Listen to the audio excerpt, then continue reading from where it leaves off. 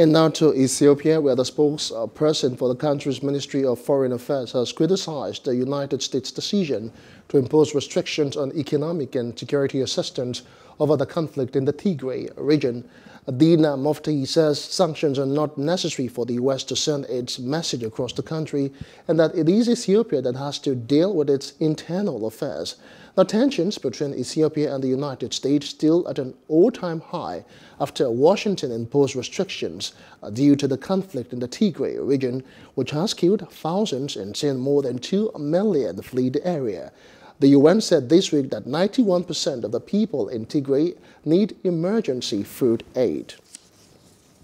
Hello. Hope you enjoyed the news. Please do subscribe to our YouTube channel and don't forget to hit the notification button so you get notified about fresh news updates.